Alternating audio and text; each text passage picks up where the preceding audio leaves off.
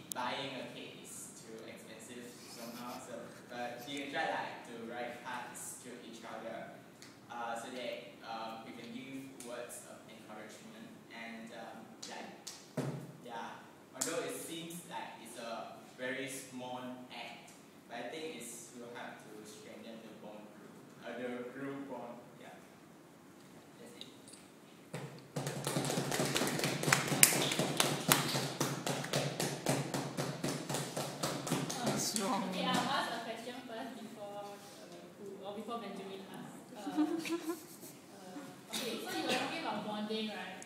you uh, because if you have been a crew for quite some time, and you do notice that, I don't know whether you notice or not, but I do notice that people only get close together during term two, like the concert season. Like after that, we are practically not, not we don't do, do any more duties together other than morning duty. So, like, people only come together in term two, and after that,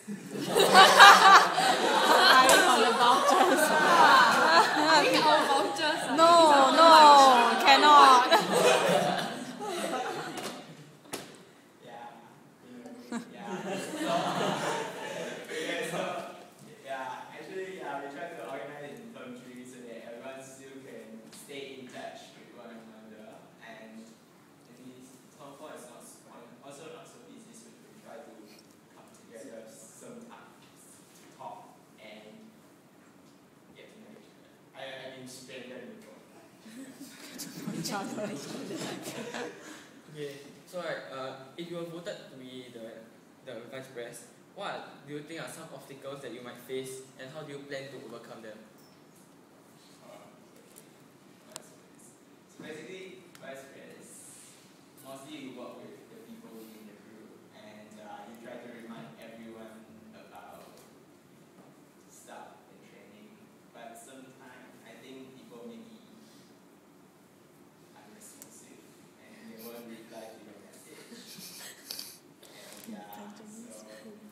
like you can try calling people when you, when when when he or she uh, doesn't want to reply to you. So in a way, yeah, you take more initiative to remind people. Up. Okay, one question. Scenario: You are allocating manpower and can't find enough people to do duty. What will you do?